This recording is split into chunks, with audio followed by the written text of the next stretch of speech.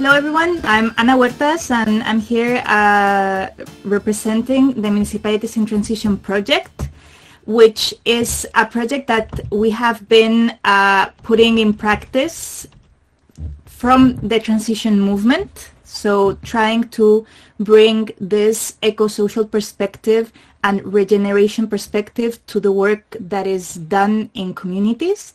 And it's a project that was born out of the shared understanding that we got from the different communities that the transition movement works with, that one of the main issues, one of the main uh, barriers that we encountered when we wanted to increase the um, the impact of what we were doing was precisely working with the uh, public administration and this was something that uh, more or less everyone uh, was facing up against.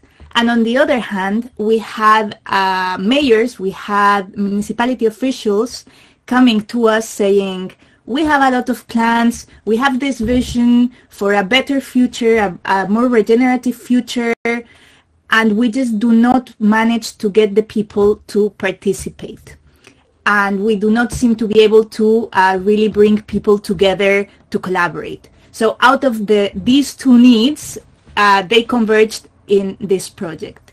So um, the project has been running uh, since uh, early 2017, and we started by identifying what systems were out there already trying to address this problem. How can we better collaborate between civil society and public administration because we all play with different rules. We have often different values, different ways of acting.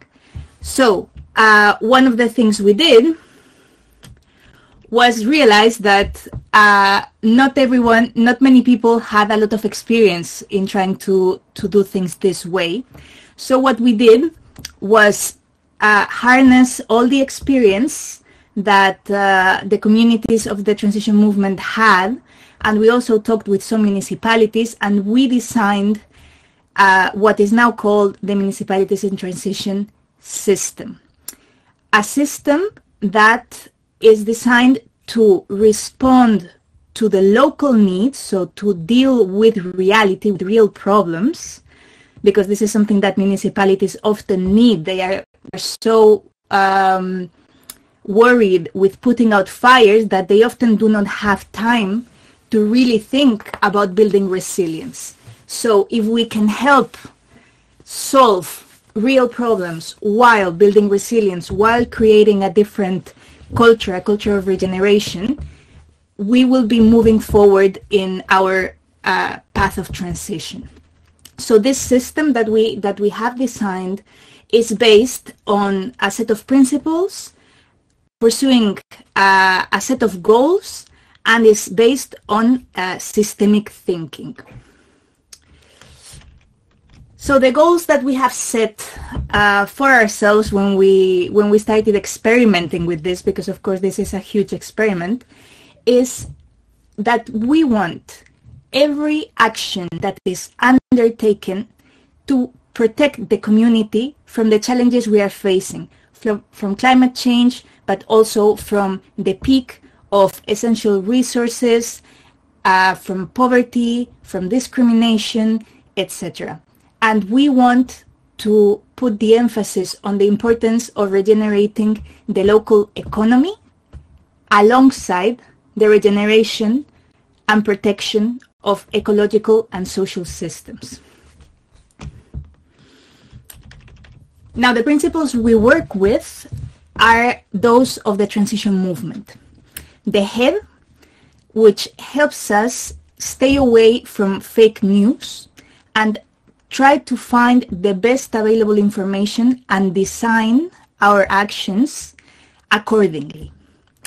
And often, this doesn't always require to resort to uh, scientific research. Often, this also mm, simply means bringing the community together and harnessing the collective intelligence that we already have present. the, the knowledge that we need is not necessarily outside. It is very often inside, but we need to learn to listen. The second principle is the heart, where all the information that we find, that we analyze with the head, before we do anything else with it, it needs to go through the heart. We need to create spaces of collaboration where we can work with compassion, where we can put life and care at the center, and we, where we take care of the emotional, psychological, and relational aspects of our work. Because we need to be aware that trying to change the patriarchal culture that we live in is very difficult. It's very taxing. It can be done, but we need to support one another. And finally, after going through the heart, we have the hands. We aim to turn our vision into something tangible. We need to manifest what we do. We need to see that there can be some results, even if they are small at first, because they are going to keep us going. They are going to support us in feeling truly that we are moving in the right direction and that our our work can make a difference. Therefore, the system that we have designed aims to create a path for cultural change. So the first thing that we work on is creating a system for shared governance. So the people that we are going to work with are a team made up of representatives from different civil society organizations and representatives from the public administration. Of course, there are power differences.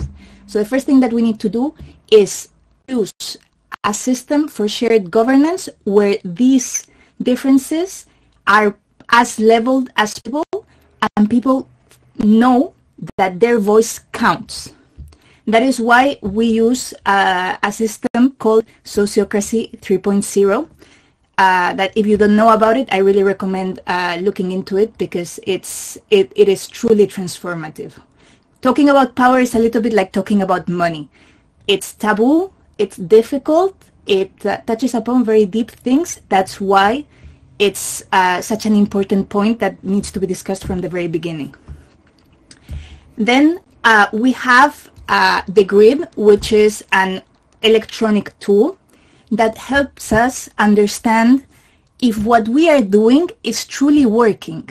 Because sometimes we do things because we think they could be useful or because we want to replicate something that has worked elsewhere. And that is great as inspiration, but we need to have a way to truly evaluate if it is helping us to go in the right direction or not. The grid also helps to design new things, things that maybe uh, we did never uh, think about because for whatever reason we uh, it, it was not where we were put, putting our focus. And this is very useful, especially for uh, people working in the public administration because it provides very concrete data both qualitative and quantitative. Then we have uh, other tools like the database, which is a set of tools that uh, that help us determine what makes the most sense in our context. So we need to stay away from thinking that one solution can be applied everywhere. We really need to be very context specific. And we need to share what we learn what we do, the challenges that we face in a community of practice. And this is what we ha- have uh, set up. And it's a place where people who are practicing with this system, with municipalities in transition, come together uh, to share. But it is also open to other people who are working in the same line and who would be interested to know more. So um, as I was saying, uh, the system that we use helps diagnose and evaluate what is going on on the field. It helps to co-design, truly co-design, so not simply uh, a small group of people asking uh, for for ideas, but truly involving people in every step of the co-design process. And the same for implementation. There needs to be a sharing of power and resources so that people truly feel empowered to participate in their communities. As I said, we have the toolbox, but the final and most important function is that we are trying to attain cultural change. We are trying to break away from the patterns that perpetuate this uh, capitalist system that we are uh, we are trapped in, or we seem to be trapped in. We want to pinpoint all the different things that we need to change, and that it's very easy to talk about when we imagine a new world, but then when things get tough, for example, when we talk about sharing power or sharing money or other resources, it is very easy to fall back to old ways of working, the kind of business as usual way. So what we are trying to do here is to create the perfect circumstances for us to notice these patterns and change them. So on for some um, some practical examples. In the first two years that we worked together with uh, several communities, we set up uh, six pilots in five different countries, uh, in Hungary, Italy, Portugal, Spain, and Brazil. So, for example, to give you uh, one, one example of, of something that was done, in Kispest in Hungary, uh, through the, the use of the system, the city council agreed to use public space to turn it into uh, municipal uh, uh, gardens, edible gardens, so to grow vegetables. And then these vegetables would be used to cater to local schools, whilst at the same time uh, giving, producing jobs for uh, people who were at risk of exclusion. And this was uh, something that would not have been considered otherwise given the right-wing tendency of the government at the time. So that was a result that we were very proud of. For the last uh, two years, we, uh, apart from the communities that we worked with in the first round, we had six new communities joining. So uh, in Portugal, in Spain, in Italy also, and uh, newer ones in Canada and Indonesia. So uh, just to give you an example from Spain, in Almocita, uh, in, in Andalusia, South Spain, uh, this was a town that was risking uh, depopulation. So they decided that they were just going to become the coolest town in the entire country so that young people wanted to go and live there. So using the municipalities in transition system, they identified the things that would be the most useful for the people living there already, but that could also attract uh, newcomers uh, to go and live there. And uh, so far, uh, the success has been amazing with several families moving there and uh, them receiving uh, several funding grants to continue doing their work.